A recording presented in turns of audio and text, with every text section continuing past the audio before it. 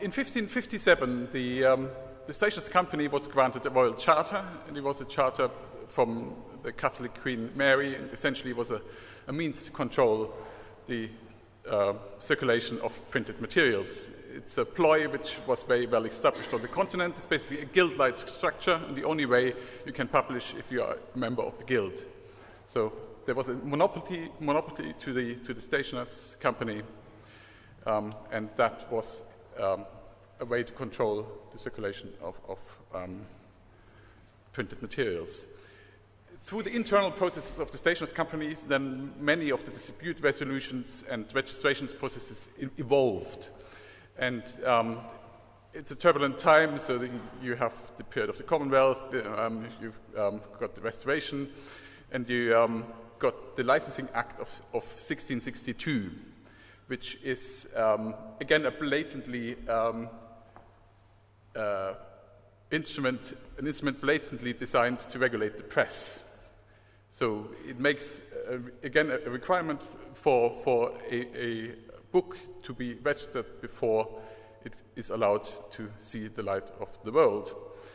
And um, if you look in the, um, in the courtroom on the wall, there is a later version of the Royal Charter of, of, of 18, uh, 1682 by Charles II to the Stationers Company, um, which is one of the most beautiful of, of the Royal Charters. And um, if you hear, I think it's again worthwhile looking at it.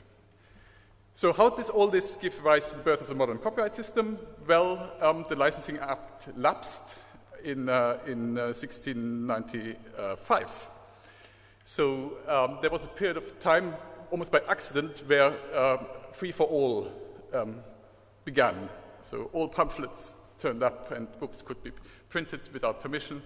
And there was heavy lobbying um, in the following decade, and eventually it led to the statutory system we now know. So in 1710, the first statutory copyright in, in the world, anywhere, um, was uh, enacted. And as part of that, there was still a requirement for to obtain copyright, you had to register your work in the registry book of Stationers Hall. That book is up there, you can still see it. And that requirement was in place till 1911. So the, um, the, it's a, in Berne terms a constitutive formality. A, you, know, you can't have the copyright unless you register. And that obviously caused problems, and once uh, the UK joined Berne, that had to be changed. Um, and the, the registrations petered out. But there's a, a, lot of interesting data in that book which is available for, for researchers, and um, I would invite um, some of our economists to have a look at that at, at some point. Okay, so the hall you sit in today uh, was built after the, um, the Great Fire. Um, there was an earlier uh, stationer's hall on, on, the place, but not of, of this uh, grandeur. And then later on, there were many additions. But this hall, I think, in pretty much the paneling and the, the layout, is, is uh, the 17th uh, century hall. So if you deal with digital matters, um, a little bit, a little weight of history is not necessarily a, a bad thing. We, we, get very caught up in the, in the topic of the day, and it's quite useful to, to step back occasionally and, and, and see the bigger picture. Um, for Create, it's the second big London event um, in a month. Um, on the 12th of March, um, we launched the Copyright User Portal, which is a, a um, digital resource aimed at media professionals creators and users, um, and it's an attempt to create from bottom up the questions which interest in practice. Um, so on the screens in the other room, you can see some examples of that.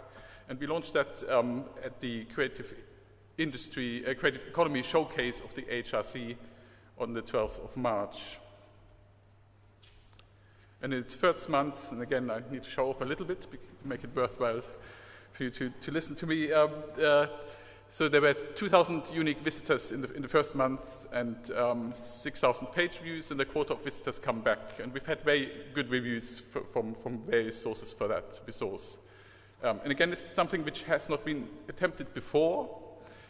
Um, normally, we think of copyright as something we need to tell people about, okay? So we, we design um, our resources in a way uh, that we teach the creators what they should know. We did it the other way around. We asked them what they didn't know, what they wanted to know. We did that in two ways. We looked at the most frequently asked questions about copyright on the web and then systematized them. And there are a couple of people in the room who have done that. Um, I see Dinusha and here, um, and, and, the whole uh, uh, family of other contributors. I don't want to single them, them all, all, out now. Um, and Bartolomeo Meletti, maybe, who uh, was the lead producer of the, the portal. Um, Chris Erickson, uh, but there's, there's so many. Haley, Minutes, uh, Ronan, Wusthaus. So there, there's a group of people here in the room who contributed that portal, and again, I, I warmly recommend to you to, to have, have a look at it. Um, in some ways, the approach is not so different from the UEA study in that we try to understand what makes people tick before we make prescriptions. Um, so um, behavioral economists may be quite comfortable with that uh, effort.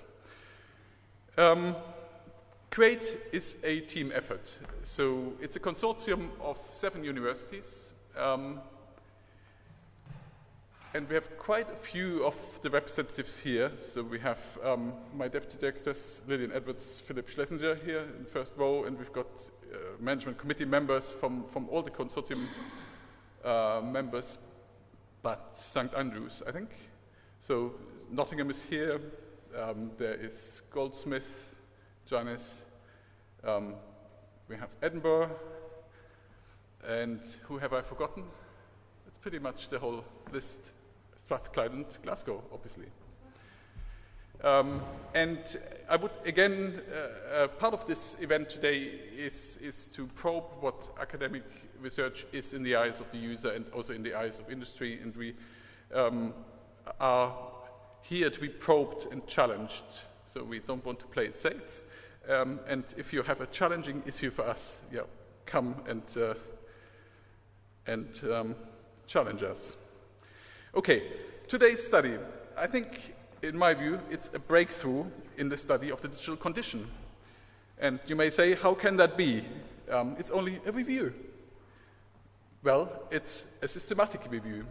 And it's a systematic view in an area which has not been um, treated well by um, commissioners. So almost everybody who's commissioned a study had an agenda to have a reason why they want a particular type of data examined for a particular type of result. And therefore, at times it's important to reset the state of the art. And uh, you can't do it better than, than in the study you have in front of us. And I think as CREATE, we are um, proud of, of, of, um, of, that effort. And um, the way we designed the response panel is that every sector that is addressed in the study um, had the right to nominate a speaker to react to what, what the study finds. Remember, the study just reports what other studies have done. Um, and um, so we systematically approached the umbrella body, bodies of each of those. So UK Music for, for music, and then Publishers Association, and so on. And we asked them to put up a speaker and if they didn't put up the speaker, we went down snowballing. And um, so the panel you will find later has been constructed, self-constructed in that way. So there was no deliberate intervention. It was an opportunity to give the industry a way to respond to what academic research finds. I would also very briefly introduce, like to introduce Alison Brimelow, who probably doesn't need an introduction. Um, um, I think almost everybody in the room knows her as the former president of the EPO and as uh, former chief executive of the what was then the patent office. Um, we're extremely pleased that um, Alison has agreed to chair our uh, advisory council, and um, Alison will also chair the discussion afterwards. So I think that will be probably the last you see of me. Good. Okay. Took a bit longer than um, the usual introduction, but um, I hope you forgive me.